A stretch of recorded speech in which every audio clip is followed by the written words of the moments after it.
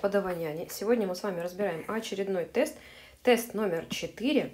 И он на самом деле вызвал у вас достаточно много затруднений у большинства, хотя я бы не сказала, что этот тест чем-то прям ужасен. Ну ладно, поехали смотреть. В парграмме АМПК известно, что вот так-то и вот так вот и синус туда-сюда найдите меньшую высоту параллограммы. Что сразу видим? У нас есть две стороны, есть угол. Это все намекает нам на формулу площади, потому что площадь параллелограмма, одна из формул, это А на Б и на синус угла между ними, между А и Б. То есть, наверное, вот что-то они нам в туда хотят втюхать, хотя не факт. Давайте посмотрим. Вот он, параллелограмм, крайне симпатичный.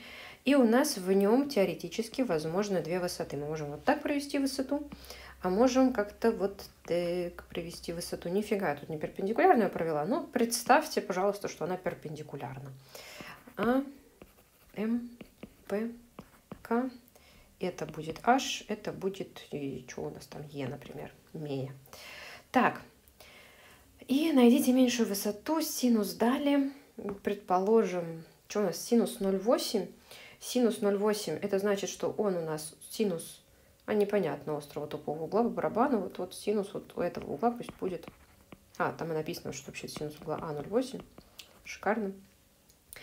Что нам он дает? А, у нас есть еще МП 15 и есть П, ПК, ПК 20. Ну, у меня параметры э, размерности немножко не те, но я думаю почему-то, что здесь это будет Возможно, не принципиально, хотя вдруг это где-то мне что-то аукнется. Давайте поменяем немножечко.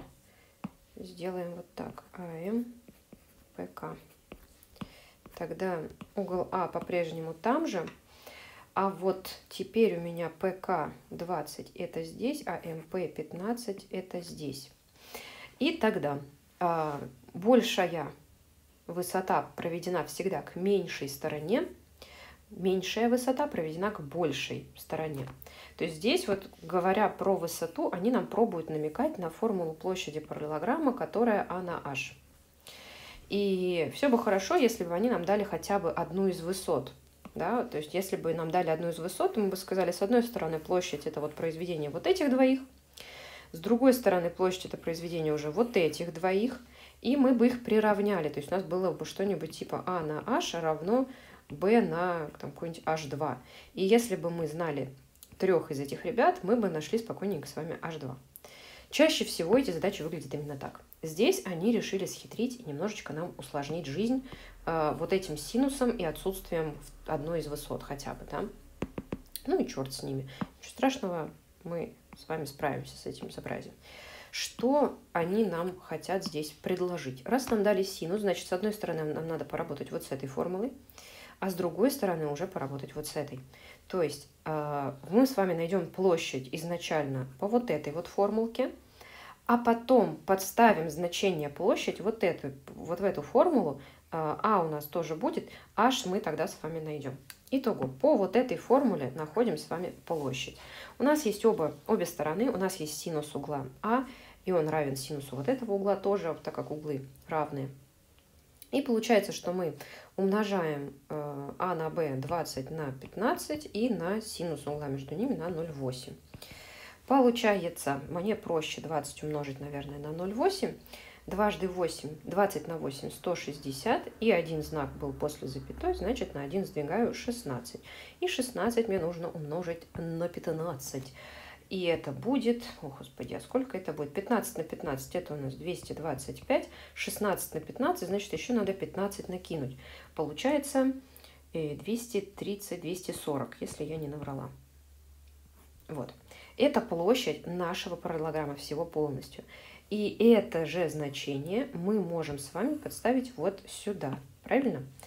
Тогда по уже вот этой формуле у нас получится площадь 240 равна какая-то сторона на какую-то высоту. А вот тут нам надо уже подумать, какая сторона и какая высота. Мы хотим меньшую высоту. Меньшая это KH, которая проведена к большей стороне. Значит, сторону мы сюда подставляем большую, двадцаточку. Ну и высоту можно написать KH, можно написать просто H. В общем, KH мы тут ищем. И у нас получается, что KH будет равно 240 делить на 20. тыц-тыц, 12. Все, это ответ. Следующая задачка. Задачка у нас на конус. А, он является у нас теперь сосудом, как бы перевернутая рюмочка такая. А, уровень жидкости достигает одну вторую высоты, то есть в переводе на русский у нас вот внутри конуса, где-то там внутри есть такая вот высота. Можно ее нарисовать ну, так, пунктиром, потому что мы ее не видим. И высота жидкости достигает как раз-таки половины этой высоты. То есть вот эти вот два куска у нас равны у высоты. Объем жидкости равен 60 мл, то есть объем вот того, то, что снизу 0, это, да, это 60 мл. А, сколько миллилитров жидкости нужно долить, чтобы полностью наполнить сосуд? Отлично.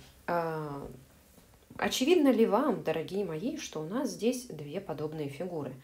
У нас есть здесь вот этот мини-конус и макси-конус. Мини-конус, макси-конус – эти два товарища, они подобны, потому что один является... Да что такое? Один является уменьшенной версией другого. Поэтому мы можем здесь работать с вами через коэффициент подобия. А как посчитать коэффициент подобия? Сам коэффициент считается как отношение сторон, там, сторон или высот, каких-то линейных, линейных величин. Сторона там, большая, большой фигуры разделить на сторону меньшей фигуры сторона меньшей фигуры. В нашем случае у нас э, сторона большей фигуры, возьмем за сторону большей фигуры высоту, э, конкретный ее размер мы не знаем, давайте возьмем ее за, например, э, x, не знаем, сколько она будет. А высота меньшей фигуры у нас вот это. Это получается у нас 1 вторая x. Логично? Логично. Тогда вместо стороны большой мы ставим x, вместо стороны меньшей одну вторую x, и у нас получается сверху как бы x с нижним x сокращается. Остается 1 делить на 1 вторую, это будет 2. Зачем я это показала, если и так было видно, что большая высота в два раза больше, чем маленькая? А потому что бывают ситуации, когда у вас может быть, например, конус большой вот так, а меньший вот так. И, например, мы скажем, что у нас вот эта штучка – она составляет, э, вот эта, вернее, высота меньшей фигуры составляет, например, нам скажут, достигает двух пятых высоты. А вот теперь у меня к вам вопрос. Слабо посчитать здесь, во сколько раз большая высота больше, чем маленькая? Вот я не уверена, что все прям с лету скажут во сколько раз, поэтому я и предлагаю а, большое как бы делить на маленькое. Если у нас вот в этой ситуации, да, большая высота, маленькая высота составляет 2 пятые большой, вот это вот, составляет 2 пятые всей высоты, то тогда мы можем опять-таки большую высоту взять за x и сказать, значит, маленькая составляет 2 пятых x. И поделить опять одно на другое, и мы увидим, во сколько раз что там больше. Вот, это вам такой лайфхак на будущие задачки. Не всегда такой коэффициент прям красивый у нас, естественно, будет. Это прям подарок судьбы. Объем жидкости 60 мл. Классно. Значит, речь пойдет у нас про объемы. Раз речь идет про объемы, э, объем большей фигуры относится к объему меньшей фигуры как коэффициент в кубе. Э, напоминаю, что для площадей работает то же самое, но коэффициент там будет в квадрате. Это не здесь, но чисто для галочки напоминаю. Итого, э, объем большой фигуры нам неизвестен, мы его хотим. Объем маленькой фигуры нам известен 60, и это равно коэффициенту в кубе, то есть 8. Крестиком тыдыщ получается объем больше 6, 8, 48, 480 мл. А нас э, найти количество миллилитров жидкости, которую нужно долить, чтобы полностью наполнить сосуд. А полностью наполнить это вот эта вот зона. То есть все вместе у нас получилось 480. Вот это вот писюлечка 60. Тогда вопрос, сколько надо долить, чтобы было полненько. Надеюсь, очевидно, что это будет 480 минус 60, то есть 420. Это ответ. На тестирование пришло 90 учеников, в том числе Ваня и Сережа. Ученикам предложили разместиться в двух аудиториях, разделив их случайным образом на две равные группы. Найдите вероятность того, что Ваня с Сережей окажутся в одной аудитории. Ответ округлите. А когда у нас с вами такие задачи, и просят кого-то куда-то посадить, то первым делом первого человека мы сажаем куда-нибудь, потому что куда-то он сядет сто процентов. Вот если у нас здесь есть две группы, первая и вторая, на две группы делят, значит, по 45 человек сюда и 45 человек сюда, как-то вот они сядут, то мы берем и сажаем Ваню в одну из них рандомно, потому что куда-нибудь он сядет точно. Вот у меня Ваня сел в первую группу, Иван. Тогда а, наша задача найти вероятность того, что Сережа сейчас вот подойдет к этим двум аудиториям. Вот он как бы подошел, и у него выбор пойти туда или пойти туда и занять какое-то место. И аккуратно, вероятность не будет 50%, там 0,5, да? Нет. Почему? Потому что у нас здесь есть оставшиеся вакантные места, и здесь есть оставшиеся вакантные места. И Сережа должен выбрать одно из вот этих мест для того, чтобы они с Ваней оказались в одной группе. А, в первой аудитории у нас осталось 44 места, во второй 45, итого 90, ой, 89 мест. 89 мест, всего у нас вакантных, именно вакантных мест э, осталось 89, а тех мест, которые нас интересуют, их осталось 44. То есть 44 места из 89 нас интересуют. О боже мой, и как же нам это посчитать? Оно хоть как-то интересно сократится? На 11 не поделится 89, на 4, на 2 тоже. Ох, незадача, придется считать в столбик. Как я это люблю. Ну ладно. На экзамене тоже такое вполне себе может быть. Давайте считать. Так, а, что мы делаем с вами? Аккуратненько. 44 не делится, значит 0 целых, логично. Потом нолик сюда дорисовываем, 440. То есть мы 440 делим почти на 90. А у нас получается, ну, до 45 не дотянемся, значит 36 как бы нужно, то есть 4. 4 9 – 36, 4 8 – 4 8 сколько будет? 32, 32 плюс 3, 32 плюс 3, 35, что у меня сегодня с, с арифметикой. 0 минус 6 – 4, 44 минус 35, уже 43 минус 35, получается 8. 84, еще один нолик – 840 это уже на 90, это у нас уже 9, наверное. 9 у 9, 81. 9 у 8, 72. 72 плюс 8, 80. Ой, какая красота, 39. А, округ, аккуратно. Нас просили округлять до сотых, значит, считать обязательно нужно до тысячных. А вдруг надо будет округлять в большую сторону.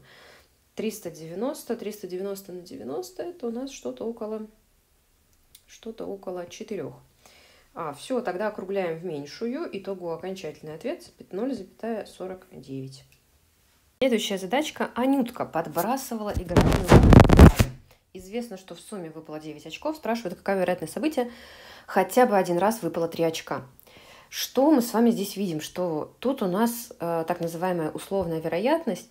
Э, в сумме выпало 9 очков. Это ограничивает нам общую выборку ситуаций. То есть, например, если у нас просто кидали три кости, то вероятность, э, не вероятность, а количество всего комбинаций будет 6 в третьей. Но у нас не кидали сейчас э, любую, не выпадала сейчас любая из этих 6 в третьей комбинаций, а она урезанная будет, так как выпало 9 очков строго. То есть, например, комбинация 1-1-1 нас не интересует, ее точно не было. Поэтому 6 в третьей нас не спасет. А нам нужно понять, что вот в сумме выпало 9 очков, сколько вариантов выкинуть девятку. Причем, ребят, здесь я предупреждаю, что, например, через дерево, вот так вот, да, ну, это будет прям конкретный головняк, потому что, ну, 1, 1, 1 не подошло, 1, 2, э, что там, 6 подошло, 1, 3, что-то, вот так мы будем махаться довольно долго. Поэтому так мы делать с вами не будем. А как будем? Мы найдем вообще все возможные комбинации получения девятки, покажу, как это сделать. Э, скажем так, окультуренный перебор. Предположим, что на первом э, броске мы выпадаем единичку, выкидываем единичку. На втором минимальное число это единичка, но на третьем нам не хватает до девятки. Если даже шестерку мы поставим, ну как бы подап не хватает. Значит, один, хотя бы два нужно. Шесть. Один, три, э, пять. Тут видим второй столбик, он растет, третий столбик убывает. И продолжаем также развлекаться. 1, 4, 4, 1, 5, 3. Опа, видите, зациклилась. Вот это уже было вот здесь. Нам не нужны, не нужны такие дубли, мы их сразу отбрасываем. Если мы сюда поставим шестерку, тут получится двойка. Она нам тоже не нужна, это будет дубль. То есть с единичкой на первом месте у нас только три неповторяющихся варианта. Теперь с двоечкой на первом месте. Если мы поставим 2, 1, мы 2, 1 уже рассматривали вот здесь. Повторяется, значит не берем 2, 1. 2, 2 у нас в первом столбике не было, значит 2, 2 канает. 2, 2, потом нужно какое число? 5. 2, 3 не было, не было в первом столбике 2, 3. Значит, берем, э, тут надо будет 4, правильно? Правильно. 2, 4 было? Было. Вот в этой строке 2, 2 с четверкой уже у нас встречались. То есть на следующем месте у нас будет тройка. Это повтор не интересует. То есть двойкой у нас только две ситуации, потому что дальше пойдут повторы. Почему? Вот смотрите, 2, 5, да, тут будет 2. Оно уже вот было. Сорян, мимо. Значит, переходим к тройке. 3-1 было в первом столбике, 3-2 было во втором столбике, вот, вот здесь было 3-2, вот здесь было 3-1. 3-3 было, не было, и следующим номером нам нужно еще 3. Вот, по-моему, все, если я не вру. 3-4 было, 3-5 было, 3-6. 3-6 это уже 9, э, много с четверкой 4-1 было, 4-2 было. Ну, в общем, дальше они все будут повторяться. Вот он, оккультуренный перевод, перебор. То есть девятка у нас могла выпасть раз, два, три, четыре, пять, шесть, шестью вариантами раз. Девятка. А, но в чем проблема? В том, что я сейчас нагло соврала девятка-то могла выбрать, выпасть как бы этими комбинациями, но вот, например, вот эта комбинация и комбинация 6, 2, 1, это не одно и то же. Значит, нам нужно посчитать, сколько всего возможных разных по порядку, различных по порядку, но одинаковым по цифрам будет комбинаций. Вот эта комбинация, она может встречаться с какими способами? Для умненьких сразу, кто помнит, молодцы, 3 факториал раз. Кто не помнит, почему 3 факториал? Потому что на первое место мы можем поставить три разные цифры, 1, 2 или 6. На второе место можем поставить две разные цифры, уже оставшиеся после того, как мы одну забрали сюда, например, 2 или 6. И на третье место мы можем поставить уже оставшуюся только одну цифру. То есть у нас получается 3, 2, 1. И количество их мы перемножаем.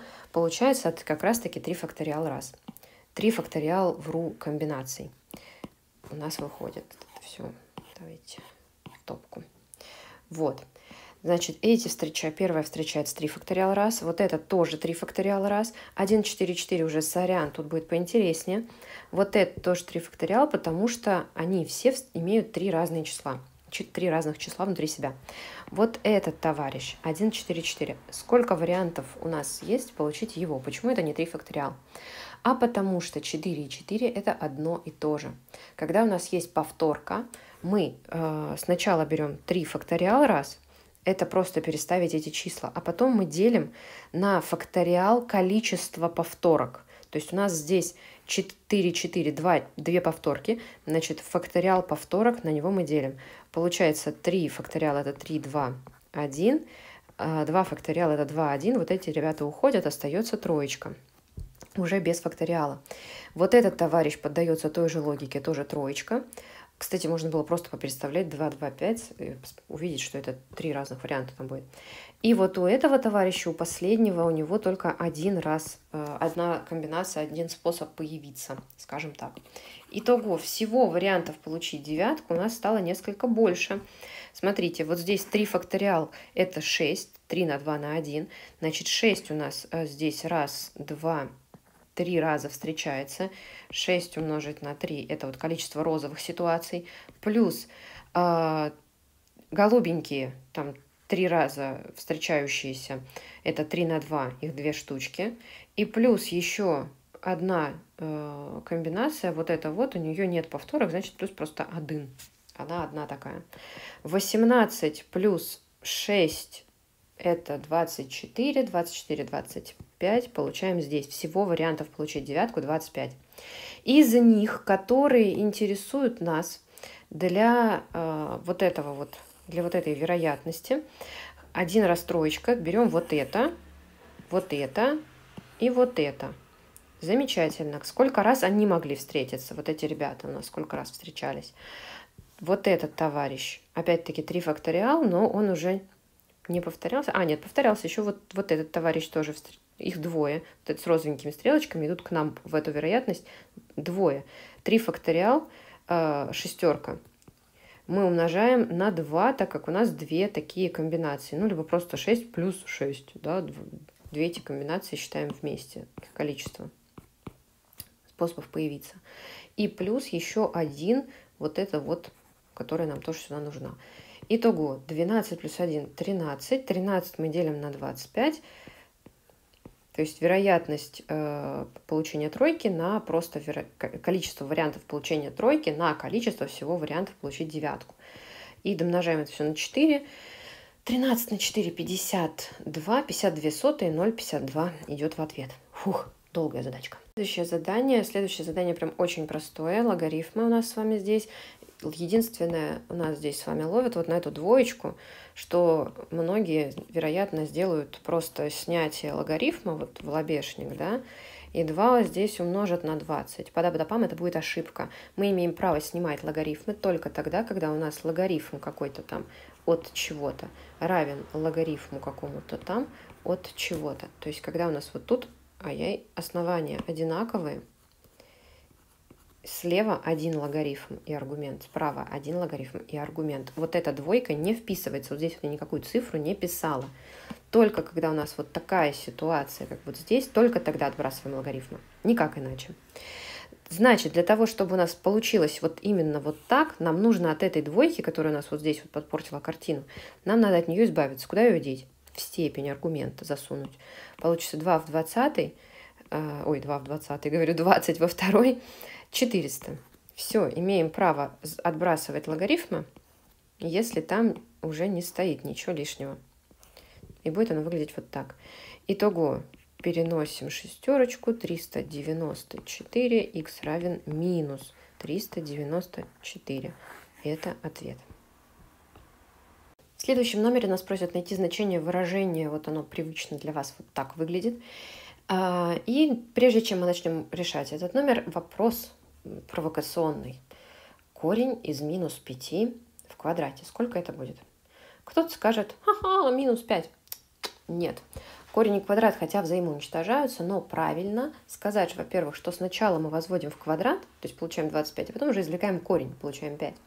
Либо еще правильнее сказать, что при уходе корня с квадратом получается модуль. То есть мы считаем модуль минус 5, а это будет 5. Я надеюсь, всем это очевидно. То есть э, нас ловят на незнание вот этого свойства, что нужен будет модуль. А, это... То есть, когда мы с вами отбрасываем вот здесь корни квадраты, мы должны нарисовать сюда модулюшки модулюшки, модулюшки, модулюшки. И сейчас я покажу, как это как бы математически красиво решить, а потом покажу с хитрожопым способом, поэтому не переключайтесь. А, итак, модулюшки мы с вами нарисовали, потом мы смотрим, если мы подставим какое-то число из этого промежутка вот сюда вместо x, там, например, 0, то у нас модуль откроется с плюсом, то что 0 плюс 4 число положительное, да, то есть будет плюс вот этот модуль, подмодульное выражение, оно там положительно. А если мы подставим тот же самый 0 в второй модуль, то у нас получится, извините, число отрицательное 0 минус 6 минус э, 0 минус 6 минус 6, отрицательное. Поэтому первый, э, первый модуль мы открываем со знаком плюс, то есть просто открываем, переписываем, как оно было.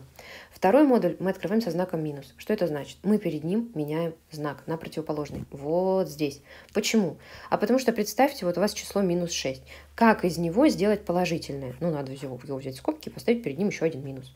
То же самое делает знак модуля. Он ставит перед отрицательным числом еще один минус. Поэтому вот сюда мы как бы подставляем минус, минус и записываем подмодульное выражение. Итого x плюс 4 минус x плюс 6. иксы ушли, получили мы 10. Это алгебраически верное решение, вот прям красиво по красоте. Теперь хитрожопое решение, которое можно вполне использовать в первой части. А, как я уже сказала, мы могли его с вами подставить 0. На самом деле мы его могли прям взять и прям подставить в пример и забить полностью на x таким образом. Когда мы можем идти таким способом? Когда нам в комментарии, вот в этом при, дан x больше, меньше, больше или равно, меньше или равно чего-то там. Это значит, что мы сам x подставить, прям подставить в э, выражение не можем. Ну, мы не знаем его точного значения, нам не написали x равно 10. Не можем мы это подставить. Значит, x должен уйти. Тогда получается, что если он уходит, значит, нам по барабану какое значение вместо него подставить. Ну, крутяк, подставляем то, которое нам Бог послал, которое удобно. Я люблю 0 подставлять. Берем 0 плюс 4 в квадрате плюс корень из 0 минус 6 в квадрате. Получается, в первом, в первом этом самом модуле у нас 4 в квадрате 16, 16 под корнем 4 плюс Здесь что будет? Минус 6 в квадрате 36, 36 под корнем 6. Итого получаем 10. Тот же самый ответ. Повторюсь, так хитрожопить можно только когда у нас x не конкретное число, а лежит на каком-то озвученном промежутке. Следующий номер прям вообще классический – просят производную, а производная у нас равна тангенсу, а тангенс это в прямоугольном треугольнике между горизонтальным катетом и наклонной. Считаем тангенс вот этого угла. Противолежащий катет 2, прилежащий 4, итого 1 вторая, 0,5. И еще минус не забыли, потому что палка убывала. Итого окончательный ответ минус 0,5. Следующее задание прям простое, но в нем очень часто ошибаются. А, я надеюсь, вы его уже сами прочитали, как-то попытались вдуматься, а я уже сакцентирую внимание на самом интересном, что у нас все показатели оцениваются от минус 2 до 2, что все четыре показателя в какое-то издание получило одинаковые, и рейтинг должен совпадать в итоге с этой оценкой, с какой-то там оценкой. Что есть рейтинг? Э, рейтинг у нас, по-моему, вот это, да? Э, независимое агентство, вести рейтинг на основе оценок. Да, вот рейтинг это вот это.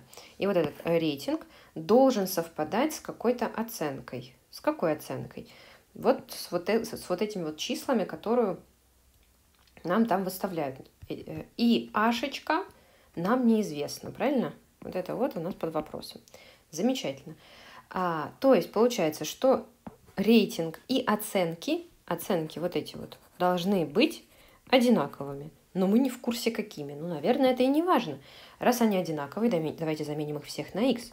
Получается вот такая картинка. А.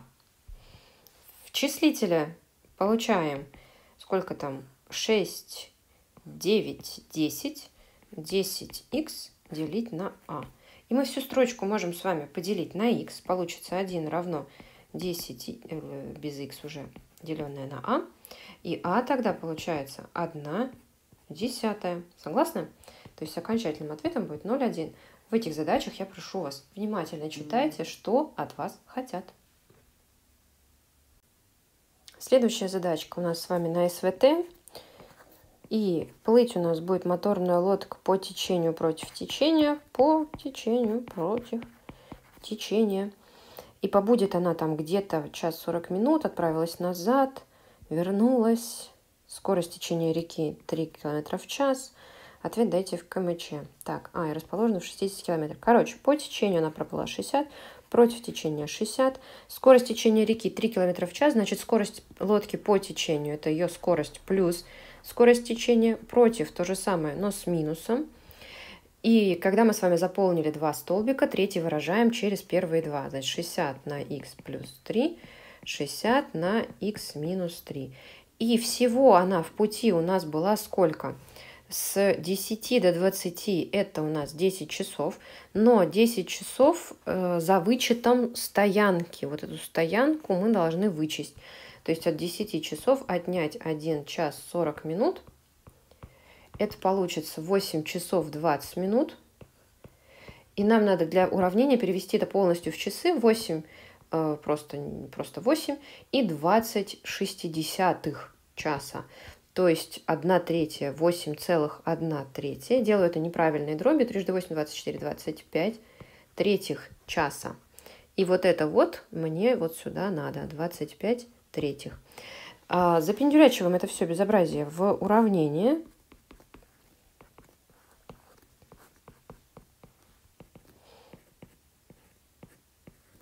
И решаем, в общем-то, это уравнение с вами, да? Первым делом я поделю все это удовольствие на 5, наверное, хотя циферки сильно лучше не станут. Ну ладно, давайте пока не буду. На x минус 3, на x плюс 3, э, минус 3 на 60 и плюс 3 на 60, они сократятся, значит останутся только x, 60 на x, плюс 60 на x. Здесь у нас x квадрат минус 9, 25 на 3. Тут у нас 120х. Вот, теперь поинтереснее могу поделить, могу поделить на 5, но опять-таки не очень хочу. Что 120 разделить на 5, сколько это будет? 120 разделить на 5. 24. Ну, в принципе, норм, чего нет. Давайте поделим на 5 все-таки. 24 х 5 на 3 все, и теперь крестиком. 24 на 3 х равно 5х квадрат минус 45. Все на одну сторону.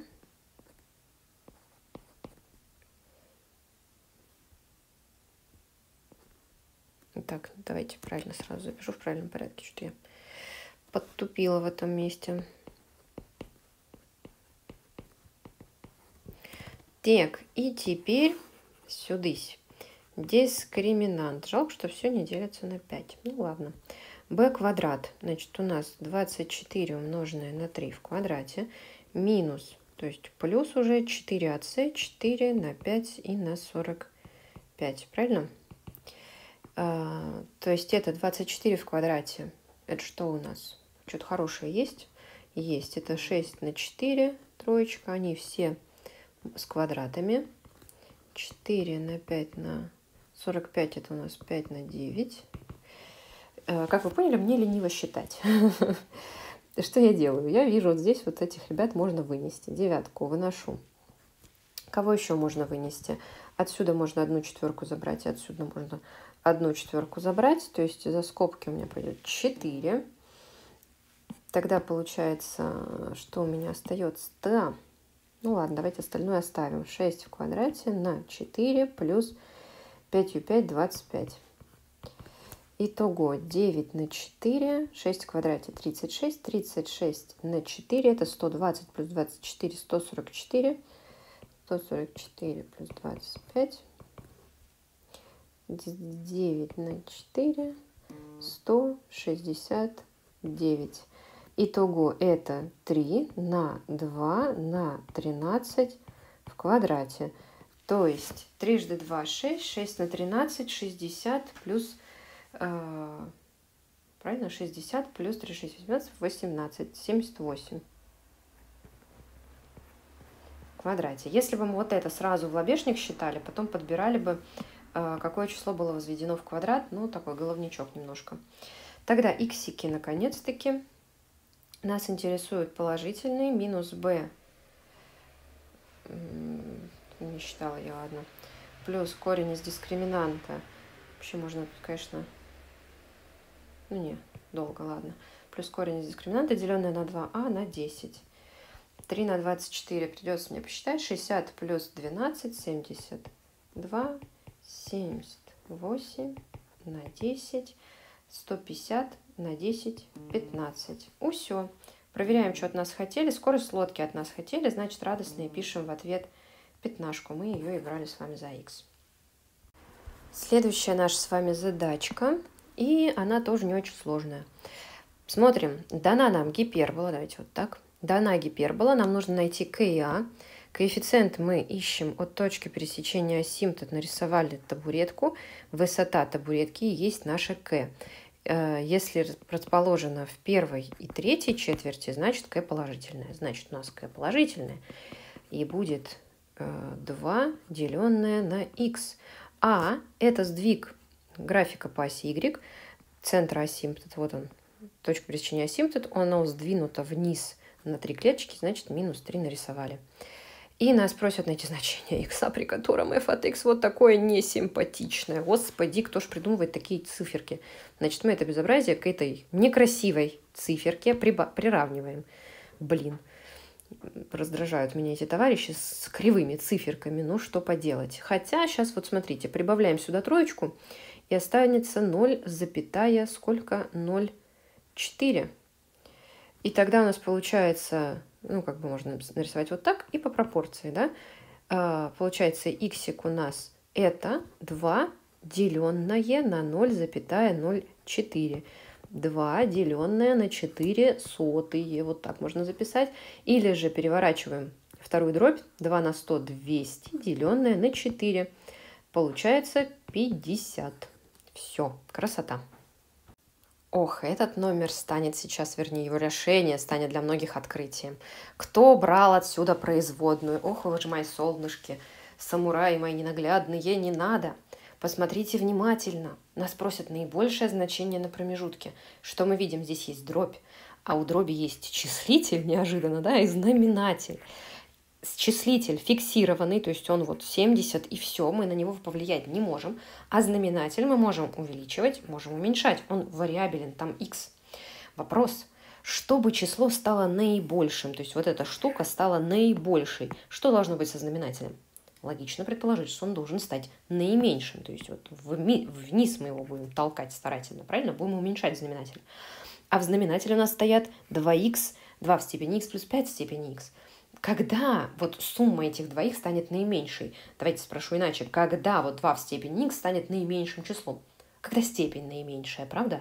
То есть когда x наименьшее число. Наименьший возможный x – это единица. Значит, нам нужно подставить этот наименьший возможный x просто в, наше, э, в нашу функцию. И радостно посчитать ответ. Мы 70 будем делить на 7, ответом будет 10. Не ожидали?